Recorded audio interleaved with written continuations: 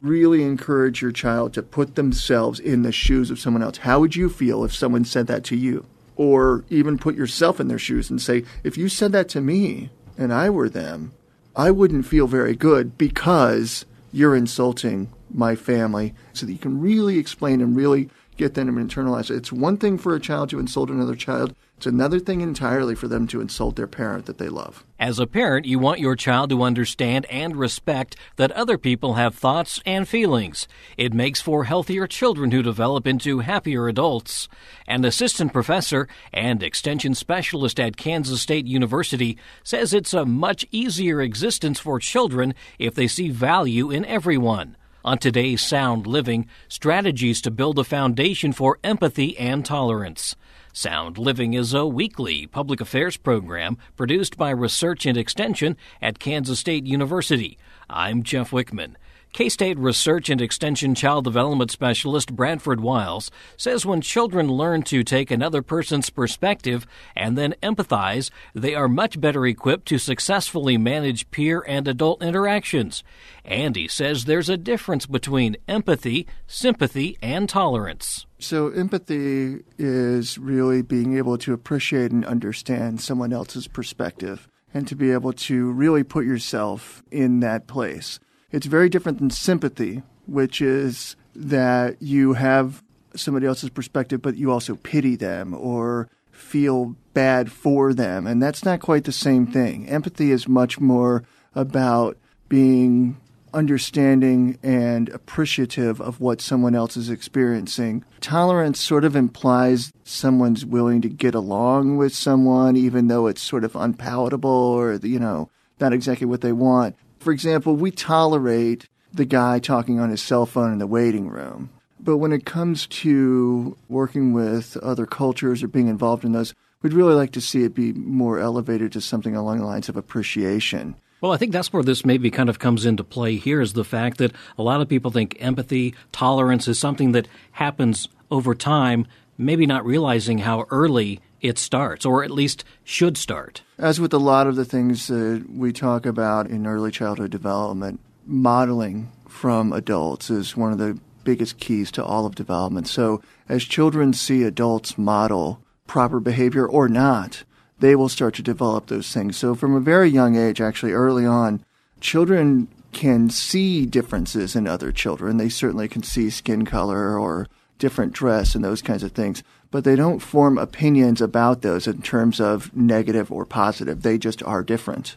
It's as they grow up and are exposed to our cultures, and what I mean by that is our family cultures or our regional cultures or even local community cultures, that's where they start to form the opinion. So if your family culture is one of acceptance and embracing, children will then pick up on those things. So they start to figure out early on that other people have different beliefs, thoughts, and desires than their own.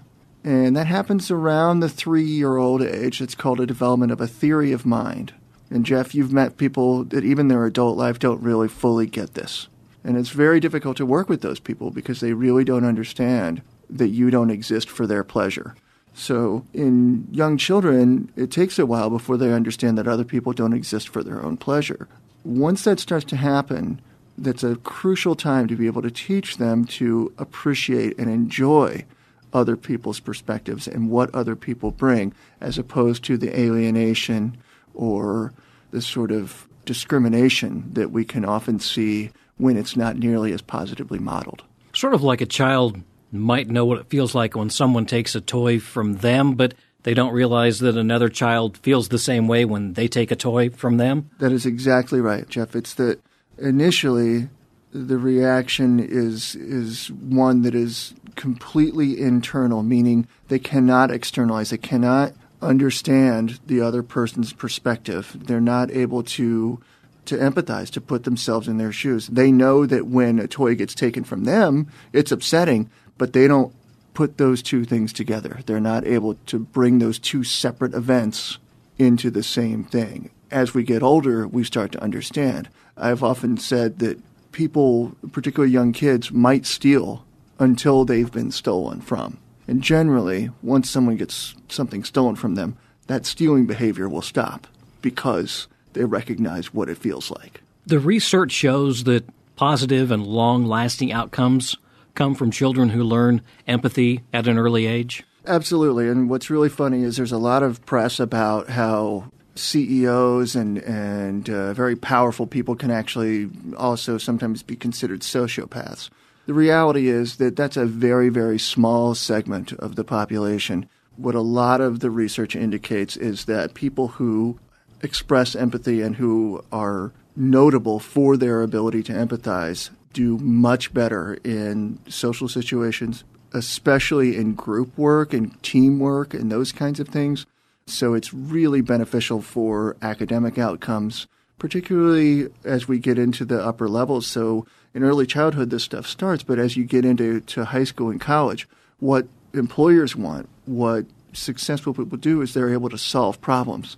And one of the parts of solving problems is being able to work with other people, to identify with other people, to bring them into the fold, to be able to see where they're coming from, empathize with them, and then guide and shape the group's progress. And that's where children who have empathy can really thrive as they get into emerging adulthood is that they've got that solid foundation for being able to work with and appreciate differences as opposed to isolate themselves from them or be judgmental of them.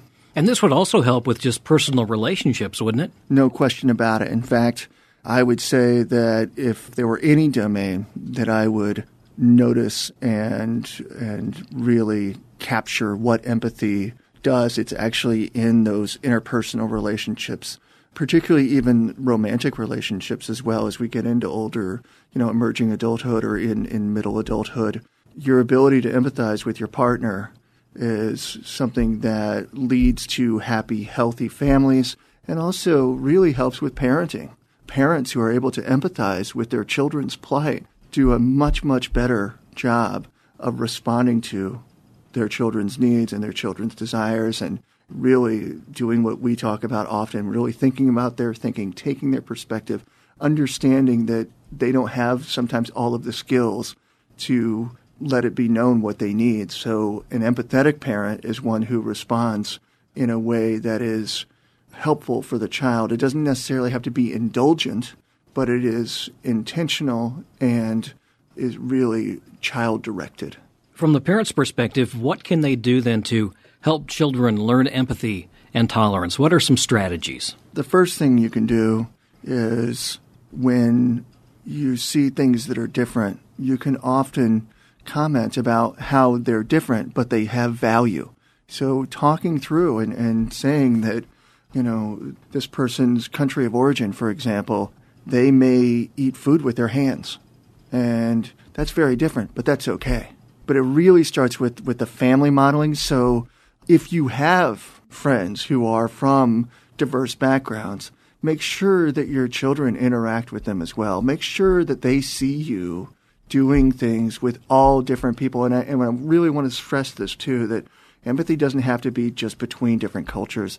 You know, one of the things that I see in the United States a bunch is a lack of empathy about people who are low income. There's this set of thinking processes that go on, I've noticed, where a lot of people think that if you're poor, you just don't work hard. And while for a small subset of people who are poor, that might be true, the vast majority of people who are living in poverty are working very, very, very hard just to maintain a level of poverty. And so, you know, what we want to do as parents and as applied developmental scientists is really try to get families to understand that differences don't have to necessarily be good or bad. They are just different. Repeating that with children, demonstrating that through your own life, though, I think is the most important of all. So if you want your child to be empathetic, what do you do? You volunteer, you help out, and you don't have to go to a soup kitchen and volunteer. You volunteer with your children's activities. You embrace all the children that are part of whatever activity it is. You lend a hand at church or in your community group or whatever it is so that you're demonstrating for your child that all people have value and that you want to embrace that and that you are a richer person for doing so. If you don't have a lot of diversity in your community, in your school, books might be another option to learn that same lesson. Absolutely. They are a perfect opportunity to expose children to all manner of diversity across the world. So you can have books that depict people who are developmentally delayed, who have physical challenges, who are from different countries, who are extraordinarily wealthy or extraordinarily poor. So what books do is they give you a world that is not accessible any other way than through reading. And that's the best thing for me about books is that characters provide those early opportunities for a child to put him or herself in the shoes of the character. And the parent or adult can really facilitate that by saying, well, what do you think that child is thinking about? Or what do you think that child is feeling? And that really forces children to engage in that process of empathy, of figuring out what that looks like for that person, how they would feel if they were in their shoes. One of the difficult things of being a parent is when you see your child do something you know they shouldn't do, say something they shouldn't say to someone, you always wonder when do you take the corrective action? How do you take the corrective action?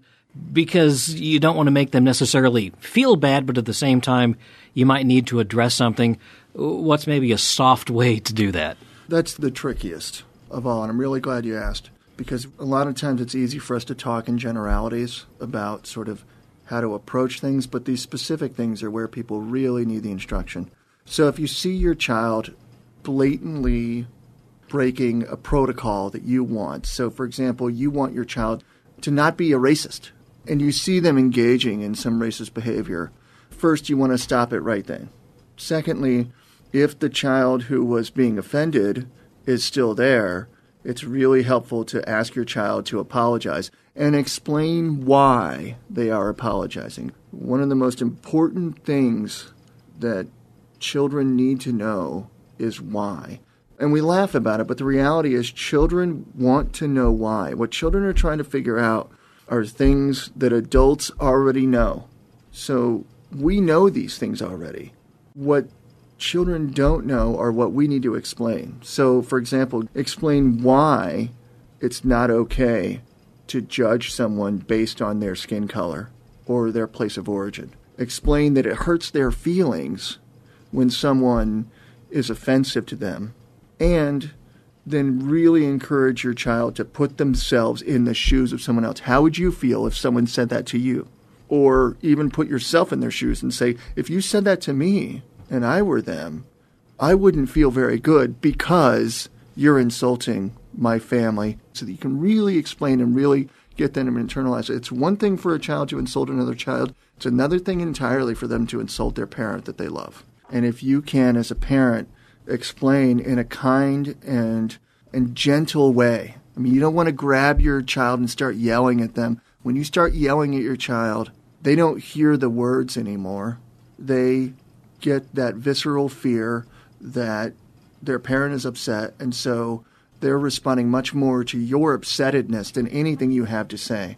One final thing I would add to all of this is if you can, involve just the people that were part of the interaction. If it happens in a large group, if you can bring the two children away and have the discussion in between the two of them and yourself, or maybe the other person's parent as well, that's the best. You don't want to criticize in front of a huge group of people it's not good for a child to be criticized in public. So, one of the things I always try to emphasize with children is you praise in public and you criticize as best you can in private. Now, in these kinds of instances, you need to do it immediately. You can't wait until afterwards and say, hey, remember when you called that little girl a bad name? That's not okay. It needs to be addressed right then. But the more discreet and frankly empathetic you can be towards your child and what they're having to figure out in that moment, the better off everyone will be. That's K State Research and Extension Child Development Specialist Bradford Wiles. More information about early childhood development is available at county and district extension offices and on the extension website www.ksre.ksu.edu. Sound Living is a weekly public affairs program produced by Research and Extension at Kansas State University. I'm Jeff Wichman and this is the K State Radio Network.